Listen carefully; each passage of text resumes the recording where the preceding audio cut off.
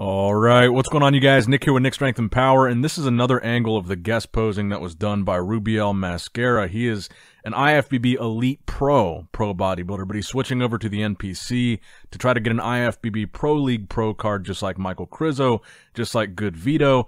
And right now, he probably is the biggest amateur bodybuilder in the world now that he's back to the NPC level. I do think personally that Krizo and Good Vito are a little bit better bodybuilders in the sense that they're more balanced and more complete. But Rubiel has more freak body parts. He's got crazy legs, crazy neck. That's why people call him Neckzilla. But I think the balance isn't, it's just not quite the same as Krizo and Good Vito. So I'm curious to see how he's going to do when he does make the switch. But he is a freak. There's no denying that. Let me know what you guys think in the comments down below and like and subscribe for more videos like this one.